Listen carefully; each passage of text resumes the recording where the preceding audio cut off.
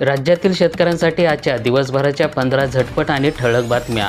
आरोप प्रत्यारोपाच्या फेरी. इशारे सुरूच तर आंतरवालीमध्ये. मनोज जरांगे ससाण्याचा तर. वडीगोद्रीतमध्ये हाके वाघमाऱ्यांचं उपोषण सुरू. मंगळवारी ठरणार महायुतीचा फॉर्म्युला. अमित शहा यांच्या उपस्थित जागा वाटपावरून शिक्कामोर्तब. छत्रपती संभाजीनगरमध्ये चोवीसला महत्त्वाची बैठक बोलली दीडमध्ये दहा लाखांच्या बनावट नोटा चालनामध्ये. कोलकाताहून आणला कागद आतापर्यंत पाच जण अटकेत. अनुदानापोटी मिळणार शेतकऱ्यांना सहाशे अडुसष्ट कोटी रुपये. छत्रपती संभाजीनगरमध्ये गेल्या वर्षी अत्यल्प पावसामुळे कापूस आणि सोयाबीन उत्पादक घटले होते. या पार्श्वभूमीवर कापूस आणि सोयाबीन उत्पादकामध्ये शेतकऱ्यांना प्रति हेक्टरी दहा हजार रुपयांचं अनुदान देण्याचा निर्णय राज्य सरकारने घेतला. विधानसभा निवडणुकीच्या आचारसंहिता लागू होण्यापूर्वी मराठवाड्यातील शेतकऱ्यांच्या बँक खात्यामध्ये आता तब्बल सहाशे अडुसष्ट कोटी रुपये जमा जमा करण्याच्या हालचाली सध्या युद्ध पातळीवर कृषी विभागाकडून सुरू करण्यात आलेल्या आहेत. तर ई पीक पाहणी नोंद केलेल्या शेतकरीच आता या यामध्ये पात्र ठरणार आहेत. राज्य सरकारने ई पीक पाहणी नोंदणी केलेल्या शेतकऱ्यांना अनुदान देण्याचा निर्णय घेतला आहे.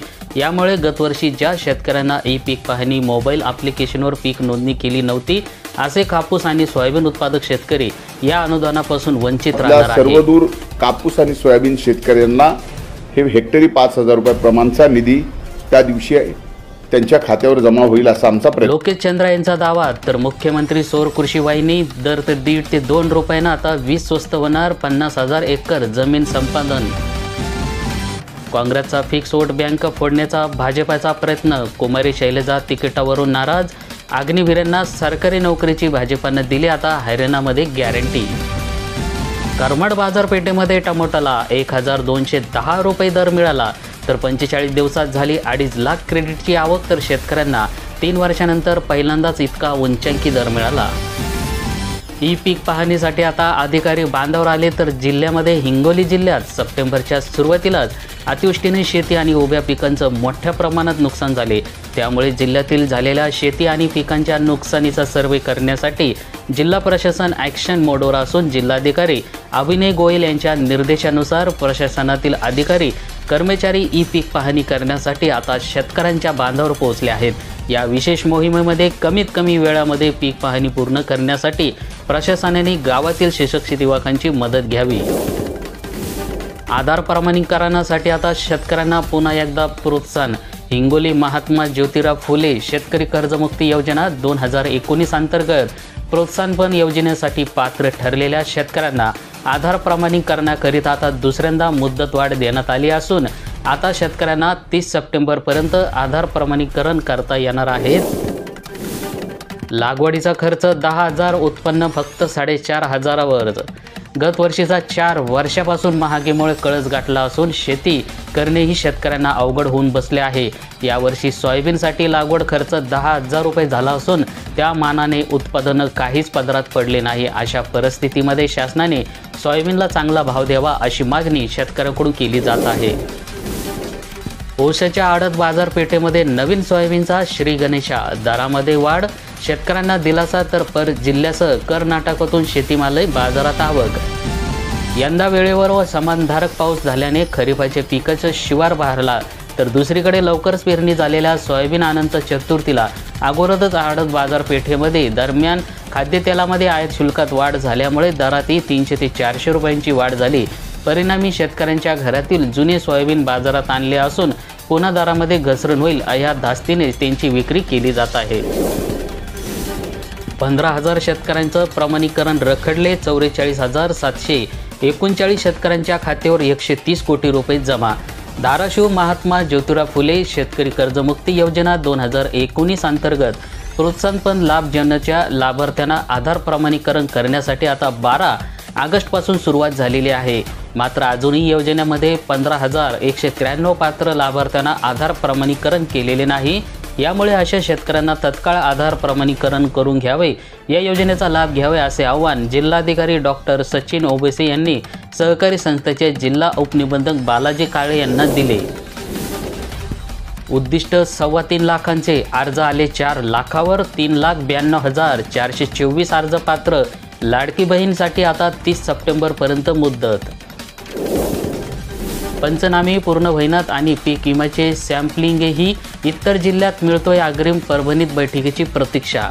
जिल्ह्यामध्ये अतिवृष्टीतील नुकसानीच्या पंचनाम्यावरून मोठे वादंग उभं राहिले आहे पालकमंत्र्यासमोरील आढावा बैठकीत सर्वोच्च लोकप्रतिनिधींना प्रशासनाला धारावर धरले. त्यामुळे आणखीन अतिवृष्टी पंचनामे तेवीस सप्टेंबरपर्यंत अंतिम होतील असे चित्र आहे. तर पीक विमा कंपनीचे सॅम्पलिंगही अजूनही पंच्याहत्तर हजार तक्रेवर झाले. तर एक लाख पंच्याहत्तर हजार पोहोचला किती काळ लागेल यावर शेतकरी मोठ्या संकटामध्ये सापडलेला आहे. कृषी तैसलाकडून ई पीक पाहणीची मोहीम एक पॉईंट एकोणसत्तर लाख शेतकऱ्यांचा पीक पेरा नोंद बाकी. ई पीक पाहणी मोबाईल ॲप्लिकेशनची माहिती जनजागृती सर्व शेतकऱ्यांना व्हावी. त्यांना सातबारावर नोंद करण्यासाठी प्रत्येक गावातून दोनशे शेतकरी निवडले जातील. कृषी व तहसीलाकडून प्रत्येकी पन्नास टक्के काम विशेष मोहिमेद्वारे पूर्ण करून घेण्याचे आदेश जिल्हाधिकारी रघुनाथ गावडे यांना दिले. सोयाबीनवर रोगाचा प्रादुर्भाव पीक ठरले आर डी सीच्या टेबलवर शेतकरी संकटात भीम ब्रिगेडचं जिल्हा कचेरीवर आंदोलन. अतिवृष्टीमुळे झालेल्या नुकसानीचा अहवाल आठ दिवसामध्ये सादर करा. प्राथमिक संरक्षणामध्ये चार हजार हेक्टरवरील पिकांचं नुकसान तर पंचनामे करण्यात आली. गोंदिया तालुक्यातील जिल्ह्यातील नऊ आणि दहा सप्टेंबर रोजी झालेल्या अतिवृष्टीमुळे पूर परिस्थितीमध्ये निर्माण होऊन धान पिकांचं मोठ्या प्रमाणात नुकसान झाले होते. कृषी विभागाने केलेल्या प्राथमिक सर्वेक्षणाच्या चार हजार हेक्टरमधील पिकांचं नुकसान झाल्याचं पुढील आले होते. शासनाच्या आदेशानंतर नुकसानीचे पंचनामे सुरू असून अतिवृष्टीने झालेला नुकसानीचा अहवाल पुढील आठवड्याभरामध्ये सादर केला जाणार असल्याची माहिती कृषी विभागाच्या अधिकाऱ्यांनी दिली.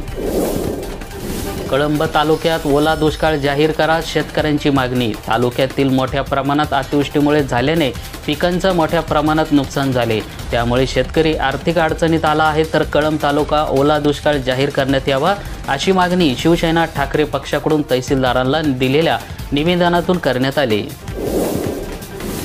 ई पीक नोंदणीसाठी आता दुसऱ्यांदा मिळाली मुदतवाढ अंतिम मुदत ही तेवीस सप्टेंबर. स्मार्टफोन नसल्यामुळे शेतकऱ्यांसमोर अनेक अडचणी. शासनाच्या महसूल विभागाच्या ई पीक पाहणी मोहिमेचा बोलबाला सुरू असला तरी अनेक शेतकऱ्यांकडे स्मार्टफोन नाहीत त्यामुळे ई पीक नोंदणीसाठी अनेक शेतकरी अडचणीचा सामना करावा लागत आहे. शेतकऱ्यांना शेतातील कामधंदा सोडून ई पीक नोंद करून देण्याची विनंती स्मार्टफोन धारकाकडे करावी लागत आहे. शासनाने ई पीक नोंदीसाठी दुसऱ्यांदा मुदतवाढ दिली असून तेवीस सप्टेंबरपर्यंत ही अंतिम मुदत असणार आहे. महागेचं विघ्न खाद्यतेल किलोमागे वीस रुपयांना महागले. सर्वसामान्यांना बसणार फटका तर गणेश उत्सव नवरात्र उत्सव सणाला भाविकांच्या खिशाला बसणार कात्री. सोयाबीन अनुदान योजना शेतकऱ्यांना मुरगजळ शिराळ तालुक्यातील स्थिती शिराळा तालुक्यातील शासनाचा सोयाबीन अनुदान योजना मुरगजळ ठरत आहेत. समाई खातेदारांसाठी प्रतिज्ञापत्राच्या अटीमुळे नाहक खर्च वाढला आहे तर परिणामी शेतकऱ्यांच्या अल्प प्रतिसाद मिळत आहेत. मागील हंगामामध्ये सोयाबीन आणि कापूस उत्पादकांना सोयाबीन कापूस अनुदान योजना जाहीर केली. शेतकऱ्यांना दिलासा देण्यासाठी हेक्टरी पाच हजार रुपये अनुदान दोन हेक्टरच्या मर्यादेपर्यंत दहा हजार रुपये अनुदान जाहीर केले. हेक्टरच्या आतील शेतकऱ्यांना सरसकट हजार रुपये अनुदान जाहीर केले आहे. ई पीक पाहणीवरून सामायिक खातेदार व वैयक्तिक खातेदार अशा याद्या केल्या. वैयक्तिक खातेदारांना शेतकऱ्यांचा फॉर्म भरले. सामायिक खातेदारांना देखील सह खातेदारांच्या न हरकत प्रमाणपत्रावर सहाय्य घेऊन फॉर्म भरले पण बहुतेक शेतकऱ्यांच्या समय फॉर्म भरले असताना शासनाचा नवा नियम काढला त्यामुळे समय खातेदारांना आता शेतू केंद्रामध्ये येऊन प्रतिज्ञापत्र करावे लागणार आहे. चोवीसपासून जिल्ह्यातील पडणार जोरदार पाऊस तर कापूस सोयाबीनला बसू शकतो फटका.